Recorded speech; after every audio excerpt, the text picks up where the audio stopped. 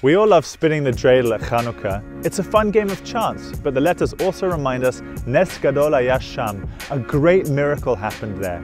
Some people play a similar game with their lives. They hope that they'll always have enough luck to reach their goals.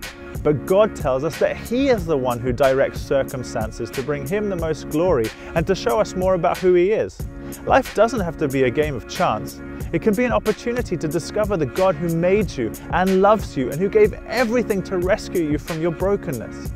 He loves you so much that He sent the Messiah Yeshua, Jesus, to die for all the wrong in your life, and He raised Him from the dead so you can be transformed into who you should be.